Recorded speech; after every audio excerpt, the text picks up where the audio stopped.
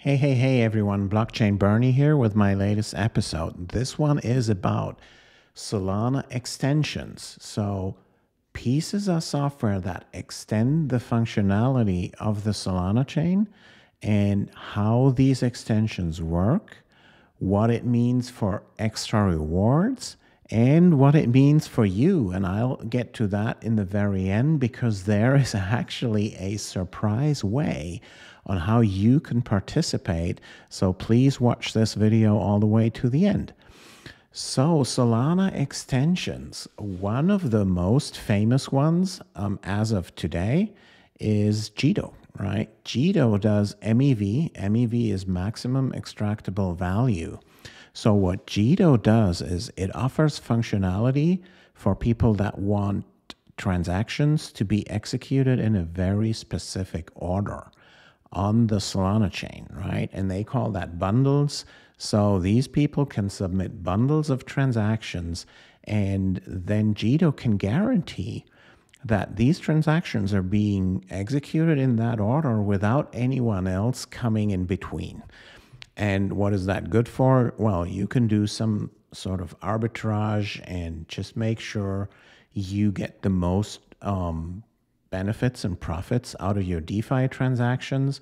And that's why these people are willing to pay extra, right?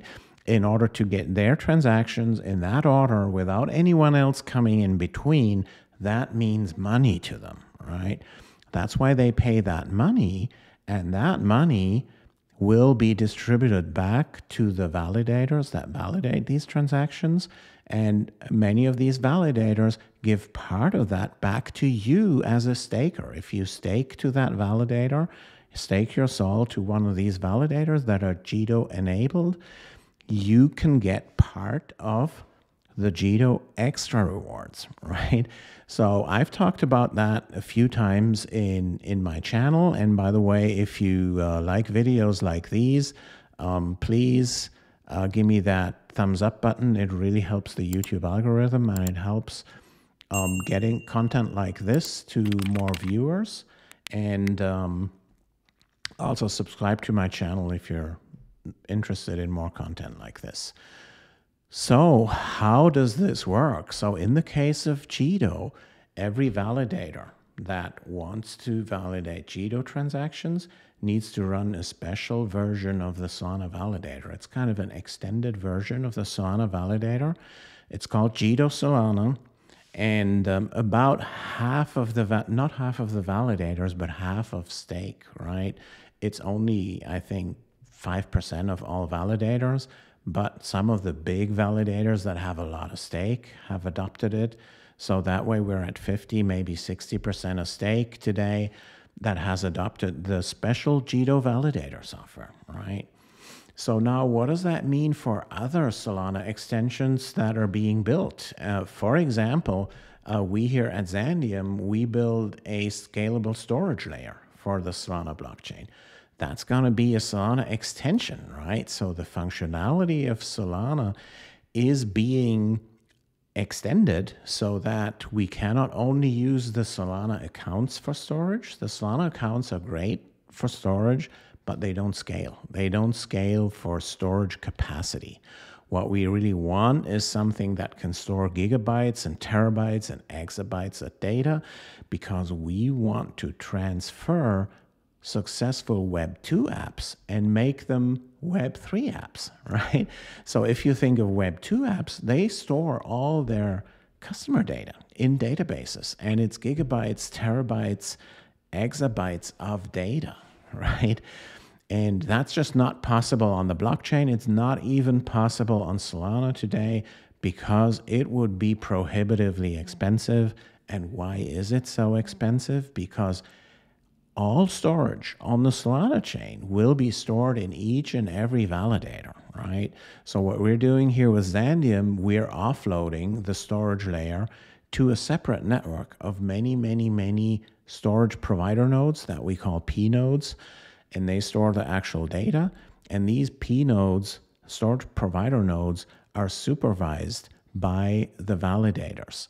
And that is another Solana extension. We feel the total addressable market for that is way, way larger even than that for MEV um, because it enables real Web3 and it enables to port over Web2 apps to the Web3 world. So, how can these extensions now be implemented? We could do our own version of the Solana validator as well, the Xandeum Solana validator. However, at some point it becomes unmanageable, right? And then we have the Jito version and we have the Xandeum version. Then we probably have a version that does Jito and Xandeum, and we have the plain vanilla version. So that means for just two Solana extensions, it will be four variations of the validator, right? If we would sometime have 10 different uh, extensions of the Solana chain, which doesn't sound all that much, that would be 1,024 different validator versions, and it becomes really hard to manage for those people who do the hard work that run the Solana validators, right? So we want to um, to make it simple for the validators to adopt our storage layer. So, and the best way to make that happen is using a so called sidecar model, right? So, what's a sidecar? Everyone knows a sidecar from a motorcycle, right? So, you ride your motorcycle and you have a sidecar um, to your right or left, uh, depending what country you're in. And then, and then you have your passenger in there, right? So that's that sidecar that runs in sync with the main vehicle the main vehicle in this case being the Solana chain.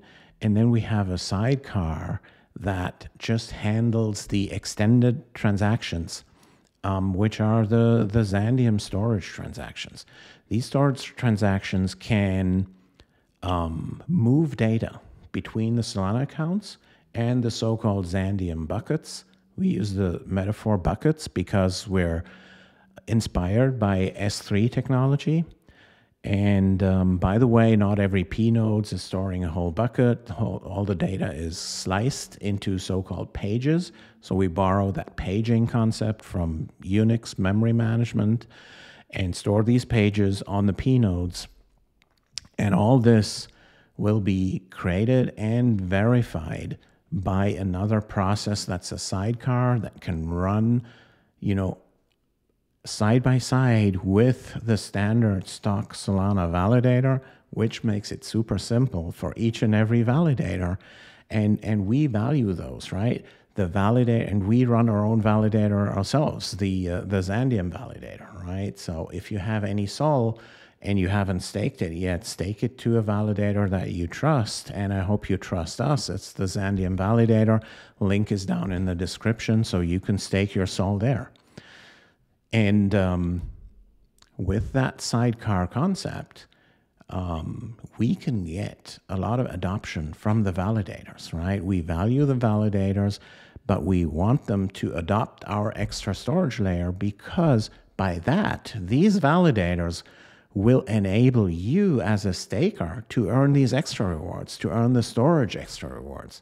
Because obviously, if you want to store those gigabytes, terabytes, exabytes of data, in our scalable storage layer that creates extra fees for those apps that have to store that data, right? These fees will be given to these validators that do that extra work for the storage, and it will also be distributed to the P nodes that do the hard work of storing all that data and, and, and allowing themselves be supervised by the validators and, and, and respond to their challenges, right? So there's going to be a lot, a lot of extra rewards in that game. And now, as I promised, um, I, I promised you in the beginning of the video, I want to give you something what that means for you. And again, if you haven't already liked my video, please do it now. Here's the thing.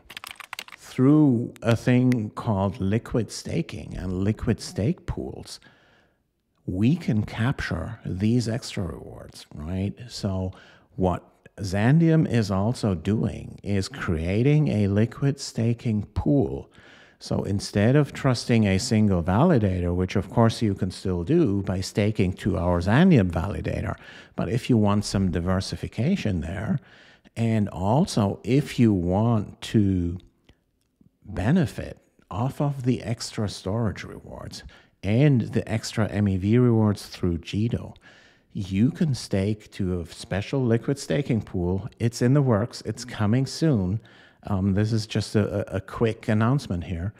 And and through that liquid staking pool, you can capture these extra rewards, the Jito extra rewards, but we will only delegate, right, to validators that have committed to adopt the Xandeum technology as soon as it becomes available. So this is, in my view, the best way to stake your Sol. So stay tuned to this channel. You hear more about that. And if you're not on our Discord, right, join our Discord server. It's a very interactive technology. Just go to xandeum.com, xandeum.com. Link is also down in the description. And in the top right corner of our website, you find um, all these things to follow us on Twitter, to join our Discord, and to join our email list. So you should do all three. Um, but the Discord is especially important because it's so interactive, right? If you join our Discord server, you can ask any questions there, and there is always people out there in our community that answer your questions. Our team is is often on there. I'm often on there and can chat with you real time. It's a great, great medium to um, to stay in touch with us. So please subscribe to our Discord channel. Um, but for today, I hope this has helped you understand Solana extensions, how they work, what what they are dependent on. They need adoption from the validators, and with our extension, the Xandeum extension, we will be the most validator friendly extension.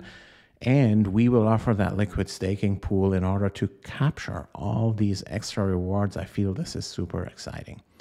So, for today, just um, thanks for watching. Uh, catch you guys later, and um, peace.